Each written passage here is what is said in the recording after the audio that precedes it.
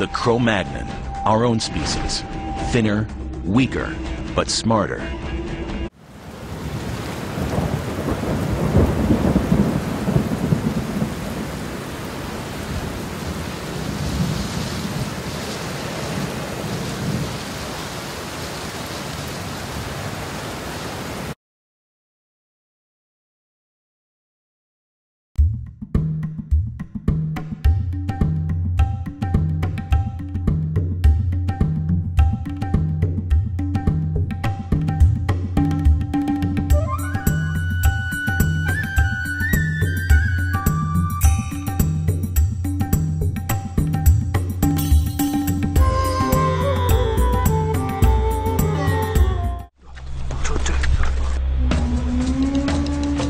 Moments later, they hear loud, unfamiliar voices. And an odd-looking group of hunters appears out of nowhere, on the move toward the herd. The clan is too petrified to move.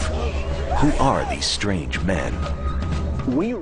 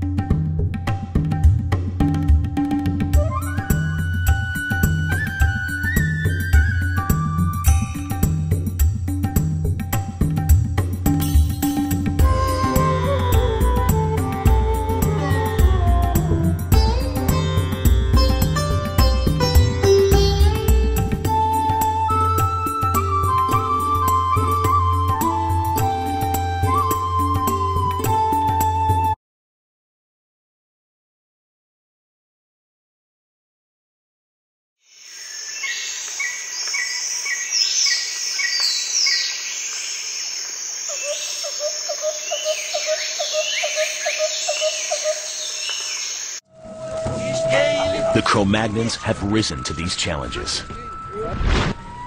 While the surviving Neanderthals struggle through food shortages and frostbite somewhere in a nearby forest, these modern human hunters are well fed and warm, and they have their brains.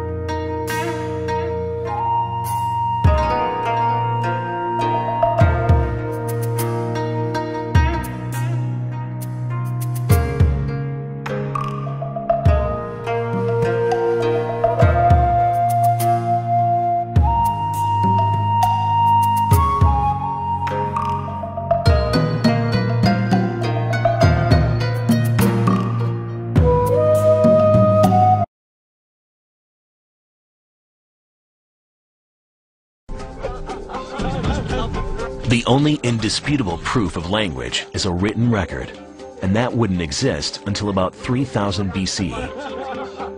But there is circumstantial evidence that these Cro-Magnons did communicate verbally some 25,000 years earlier. For example, it appears they had an organized trade system.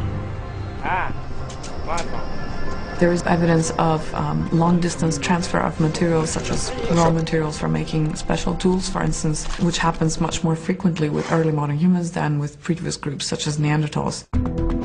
Amber dating from this time period and traced to the Baltic region has been found in southern Europe. And ancient seashells from the Mediterranean show up in Cro-Magnon dig sites as far north as Ukraine.